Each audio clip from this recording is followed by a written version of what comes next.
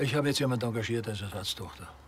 Nee, das ist ja gut. Dann ruft er dich auch zum Geburtstag an und so. Dann mache ich mir da keinen Stress mehr.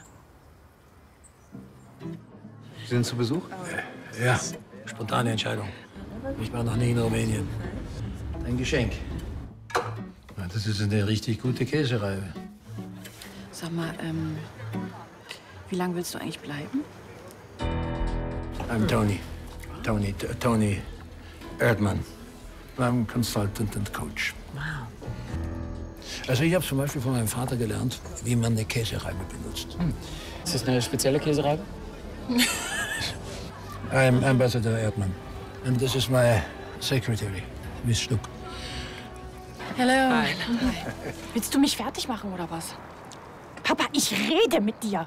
Wenn es um Ihren Vater geht, da bin ich nicht der Richtige.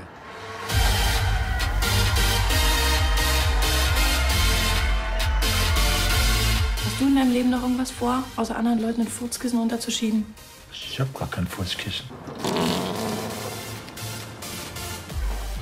I have to arrest you. So, und jetzt mach's bitte auf. Mit dem Schlüssel. I'm sorry, Bogdan. My father made a stupid joke. We have to solve this problem.